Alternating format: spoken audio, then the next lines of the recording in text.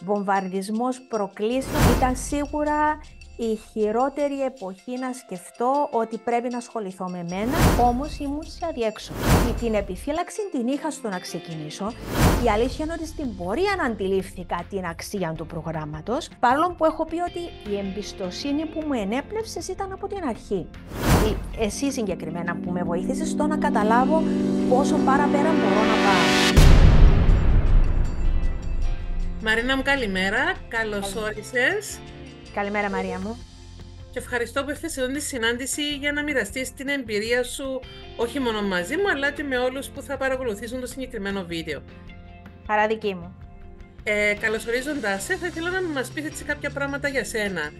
Ποια είσαι, με τι ασχολείσαι. Λοιπόν, είμαι η Μαρίνα, Είμαι επαγγελματίας μαρκετία. Δουλεύω πάρα πολλά χρόνια στον τομέα της διαφήμισης του marketing.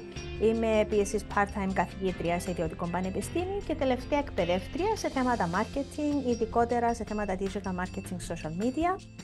Ε, Ένας τομέας τον οποίο αγαπώ ιδιαίτερα και ο οποίος είναι και ιδιαίτερα δημοφιλής τελευταία. Ακριβώς, ακριβώς. Ε, Μαρίνα, Μαρίνα, θέλω να μοιραστείς μαζί μας πού βρισκόσουν πριν να ξεκινήσουμε το coaching, λίγα στοιχεία για τη ζωή σου και τι είναι εκείνο το οποίο σε έσπρωξε να ξεκινήσεις, να αποταθείς αρχικά κοντά μου και μετά να ξεκινήσουμε να δουλεύουμε.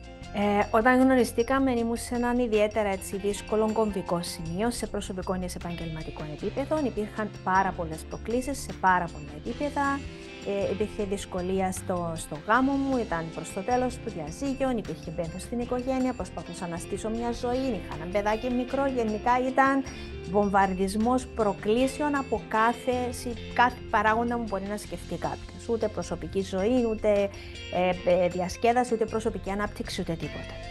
Ήταν σίγουρα η χειρότερη εποχή να σκεφτώ ότι πρέπει να ασχοληθώ με μένα, γιατί ένιωθα συνέχεια ότι έπρεπε να λύσω προβλήματα σε κάθε κατεύθυνση, είναι να ασχοληθώ με θέματα. Το γεγονός ότι είχα επίσης έναν παιδάκι μικρό ήταν πρέπει να βάλω το παιδάκι μου πρώτα. Είναι μια, κατά την άποψή μου, λαθασμένη αντίληψη, γιατί αντί να περιμένουμε να φτιάξουμε τα πράγματα τα όλα γύρω μας, πρέπει να κοιτάξουμε πώς γυρίσουμε σε εμάς, να βρούμε τρόπους να αντιναμώσουμε τον εαυτό μας για να μπορούμε να αντεπεξέλθουμε. Εγώ μεγαλωμένη ως η γυναίκα πρέπει να φροντίζει τα διάφορα, να λύνει προβλήματα, έπρεπε να βάζει τον εαυτό της, είναι εγωιστικό κλπ. Ένα σωρό λάθος αντιλήψεις. Δεν μπορούσα τη δεδομένη στιγμή να σκεφτώ ότι έπρεπε να ασχοληθώ. Όμως ήμουν σε αδιέξοδο. Δηλαδή, όταν κάθε τι που προσπαθείς να κάνεις γίνεται με μεγάλον κόπο, ε, δεν σου φέρνει τα επιθυμητά αποτελέσματα, νιώθεις συνεχώς κουρασμένος, απογοητευμένος, κάποια στιγμή πρέπει να διαρωτηθείς, εγώ σαν άνθρωπος, σαν γονιός, σαν γυναίκα, σαν επαγγελματίας, πώς μπορώ να πάω παρακάτω, δηλαδή δεν μπορεί να συνεχίσει μια κατάσταση δύσκολη. Και δυστυχώς, επειδή το περιβάλλον πολλές φορές μας επηρεάζει στο ότι έχεις άλλες προτεραιότητες κλπ., ήταν κάτι που το άφηνα στην, στην άκρη το, το κομμάτι του να πάρω εγώ τον εαυτό μου μπροστά. Στην αναστροφή που είχαμε εμείς και γνωριστήκαμε, η αλήθεια είναι ότι εσύ μου ενέπνευσες εμπιστοσύνη, ένιωσα άνετα μαζί σου, αντιλήφθηκα ότι είσαι ένας άνθρωπος ο οποίος έχει πολύ βάθος και σαν προσωπικότητα αλλά και σαν επαγγελματίας. Ε, και η εμπιστοσύνη η οποία μου δημιούργησε στο να ξεκινήσουμε αυτή την ε, συνεργασία μέσα από τα προγράμματα coaching ήταν τούτο που με έκανε να πω, να πω ναι. Σαφώς η πρόκληση μεγάλη ήταν μπορώ να επενδύσω, ε, σημαντικό το κομμάτι. Ουδέποτε το είδα σαν κόστος, το κόστος για μένα είναι μια αρνητική λέξη, ένα πράγμα το οποίο απλά πρέπει να πληρώσω, δεν ήταν έτσι. Η απόφαση ήταν να επενδύσω σε μένα να πάω μπροστά, να επενδύσω σε μένα να ξεκολλήσω από εδώ που είμαι, γιατί αν περιμένω μαγικά να γίνουν τα πράγματα δεν θα γίνουν. Εφόσον βρήκα έναν άνθρωπο τον οποίο μπορώ να εμπιστευτώ, ήταν μια καλή ευκαιρία. Εννοείται φοβόμουν, εννοείται ανησυχούσα, εννοείται αγχωνόμουν, εννοείται ένιωθα ότι μήπως δεν. Μέσα μου ένιωθα ότι οι εναλλακτικές γύρω μου δεν ήταν τόσο καλές. Ξεκινώντας το πρόγραμμα, ε, το Thinking into Results, έχω κάνει και άλλα πράγματα κοντά σου, αλλά το Thinking into Results για μένα είναι το πρόγραμμα το οποίο νιώθω ότι με πήρε μπροστά αντιλήφθηκα τους δρόμους που υπήρχαν μπροστά μου, αντιλήφθηκα τα κολλήματα που είχα εγώ στην πορεία με την εκπαίδευση και αντιλήφθηκα τη σημασία του επενδύω για να αλλάξω, για να προχωρήσω, για να δημιουργήσω. Να σε ρωτήσω, πριν να μπεις στο πρόγραμμα, ανάφερε ότι είσαι κάποιους δισταγμούς. Και ήταν τούτη δισταγμή και πόσο έντονη μεγάλη ήταν μέσα σου μέχρι να πάρεις την απόφαση να πεις πρέπει να τολμήσω, να κάνω έναν άλμα πίστης και να δω αν λειτουργήσει τον τοπίο μου προσφέρει η Μαρία. Και επίσης, αν κοίταξες και κάποιους άλλους ειδικούς, και ποια ήταν η εμπειρία σου μαζί με κάποια άλλα άτομα στο χώρο; Λοιπόν, να αναφερθώ ότι στο παρελθόν ε, είχα επισκεφθεί ψυχολόγο χρόνια πριν για άλλα θέματα, από τον οποίο βοηθήθηκα. Αν μπορώ να πω, τη δεδομένη στιγμή που είχα αποταθεί στο συγκεκριμένο επαγγελματία, με είχε βοηθήσει σε παραπάνω από έναν τομέα και του είμαι ευγνώμη. Τη στιγμή όμως που είχαμε βρεθεί οι δυο μας, δεν είχα την ανάγκη να πάω σε ψυχολόγο, δεν ήθελα να μιλώ ούτε για το παρελθόν ούτε για τα πράγματα που μου συνέβαιναν. Είχα την ανάγκη να αλλάξω πράγματα, όχι να τα συζητήσω. Να βρεις ε, λύσεις. Να βρω λύσεις, να, να, να αλλάξω, να ξεβολέψω, να ξεκλειδώσω, να ξεγυρίσω εμένα. Τέλος πάντων πώς κρατάς ένα πράγμα και λες ότι πρέπει να το αποδομήσω για να το ξαναστήσω. Και είναι το συγκεκριμένο πράγμα ανέργο ήμουν εγώ. Οπότε τη δεδομένη στιγμή ένιωθω ότι δεν θα ήταν ο συγκεκριμένος επαγγελματίας. Να πω επειδή συνεχώς ψάχνουμε και μια συχνή κουβέντα είναι υπάρχουν τόσα δωρεάν πράγματα, είναι ανάγκη τώρα να πας να πληρώσεις. Τούτα τα δωρεάν πράγματα, τα οποία όλοι παρακολουθήσαμε και μέσω των social media συνεχίζουν να υπάρχουν, βοηθούν για κάτι δευτερόλεπτα. Εάν κάποιος πιστεύει ότι με το να ακούει απλώς κάποια πράγματα μπορεί να αλλάξει εσωτερικά, πιστεύω ότι πλανάται πλάνη νυχτρά. Το τι χρειάζεται ένας άνθρωπος για να αλλάξει, ειδικά όταν έχει πολλά πράγματα γύρω του ή πολλές δυσκολίες να αντιμετωπίσει, ειδικά σαν γυναίκα και ειδικά σαν μονογονιό επίσης.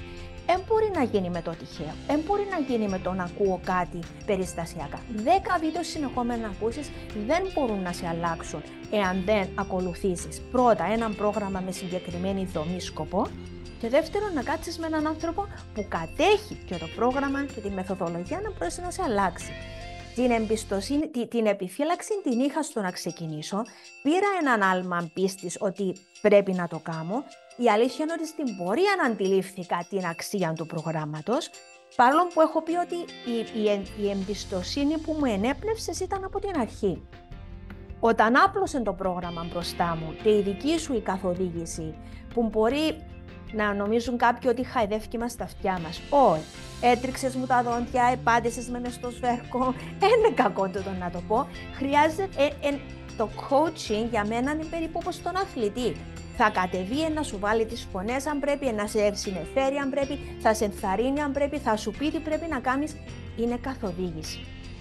Η καθοδήγηση πρέπει να γίνεται με μια δομή. Για να υπάρξει δομή πρέπει να υπάρχει υπόβαθρο, πρέπει να υπάρχει εμπειρία. Πράγματα τα οποία έχω βρει κοντά σου και για τα οποία είμαι ευγνώμων που είσαι τόσο, τόσο καιρό κοντά μου ε, και με βοηθάς με πολλούς τρόπους και ε, βλέπω ότι αποτελέσματα σε μένα, στους στόχους που θέτω, στην πίστη που έχω στον εαυτό μου, κυρίως σε τούτο. Γιατί η αλήθεια είναι ότι η πτυχία να κάνεις, την πίστη στον εαυτό σου πρέπει να τη χτίσει με άλλον τρόπο. Πολύ σωστό. Να θέλεις να μοιραστείς μαζί μας έτσι πιο συγκεκριμένα αλλαγές πριν και μετά, προσωπικά, επαγγελματικά, ε, τι είναι εκείνο το οποίο ε, ανάπτυξες ε, στη Μαρίνα, αλλά και αποτελέσματα στη σχέση σου με την κόρη σου, στο επαγγελματικό κομμάτι, ποια είναι τα αποτελέσματα της Μαρίνας μέσα από τον το ταξίδι; Το ταξίδι της αυτογνωσίας, ένα πράγμα στο οποίο ε, ε, εστιάζει το πρόγραμμα του ε, είναι στο να σε φέρει να καταλάβεις τις δυνάμεις σου, τις αξίες σου, τα πόσα μπορείς να δημιουργήσεις, τα πόσα μπορείς να ονειρευτείς. Συχνά, όσο είναι αισιόδοξος άνθρωπος κι αν είσαι, ό,τι και να μελετάς ή τέλος πάντων να, να εισπράττεις ως θετικό, δεν είναι τόσο, τόσο δυναμωτικό ή τόσο ενθαρρυντικό, όσο το να σε κάνει ένα, ένα πρόγραμμα ή ένας coach, ή εσύ συγκεκριμένα που με βοήθησες στο να καταλάβω πόσο παραπέρα μπορώ να πάω. Η, η δυνατότητα του να έχω την ψυχραιμία μου απέναντι σε δύσκολες καταστάσεις δεν ήταν κάτι που το είχα πριν. η δυνατότητα του να ονειρευτώ πράγματα όπως το μπορώ να γίνω εκπαιδεύτρια στον τομέα μου. Δεν ήταν κάτι που μπορούσα να το σκεφτώ.